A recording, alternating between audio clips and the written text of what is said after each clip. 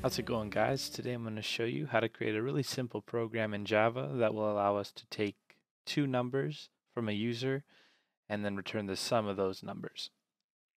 So to use to uh, do this I'm just going to use Eclipse. I'm going to pop open Eclipse right here. You can also use NetBeans or any other IDE you want.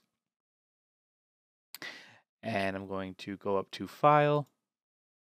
I'm going to create a new Java project. I'm just going to call it simple calc. Oops. And then I'm going to click finish. I'm going to expand simple calc and I'm going to right click the source file, hover over new and then select class.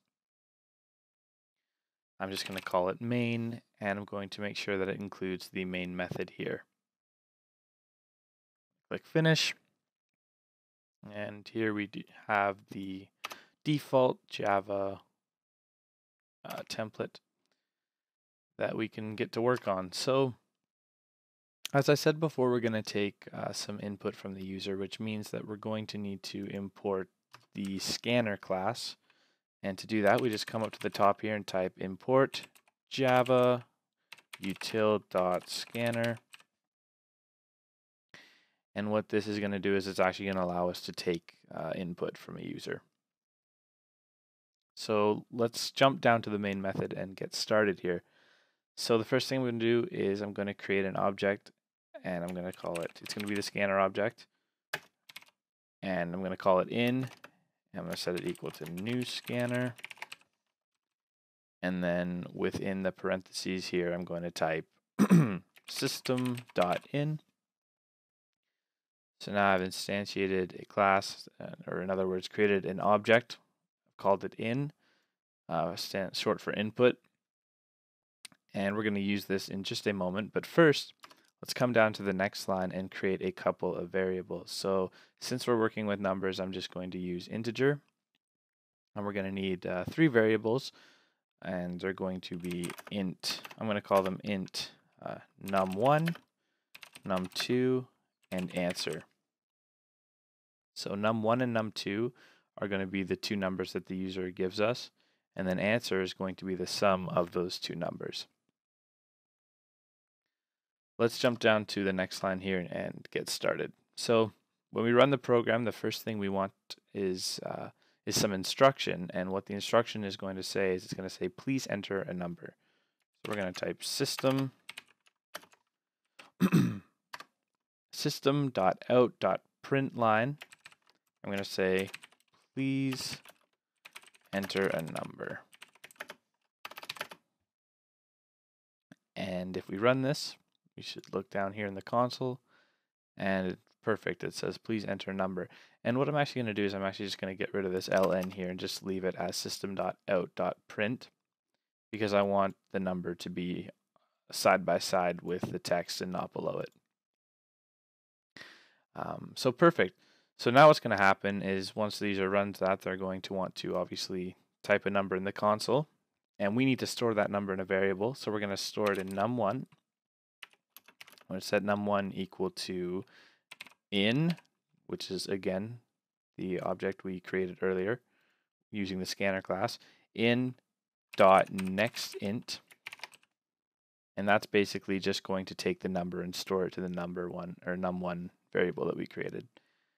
And I'm going to jump down to the next line and do the same thing for the second number that we get from the user. So system.out.print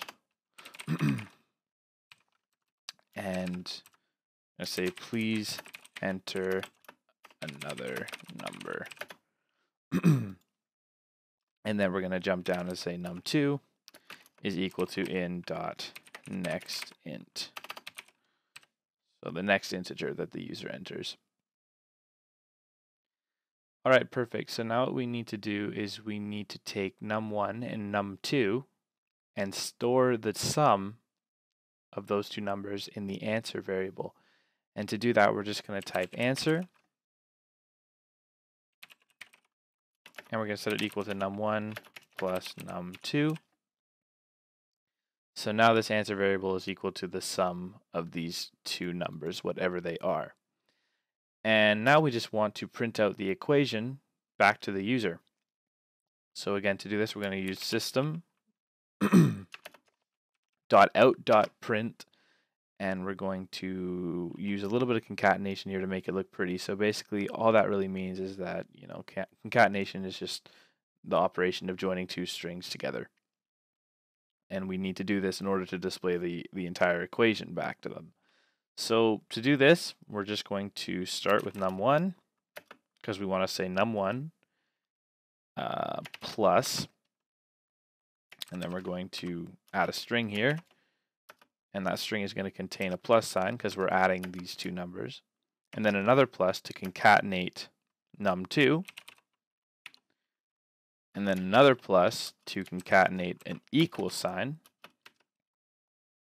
And then another plus to actually concatenate the answer. If I can spell it. Perfect. So let's take a look at how this program runs. I'm going to click run up here. I'm going to enter in 5, and I'm going to hit enter.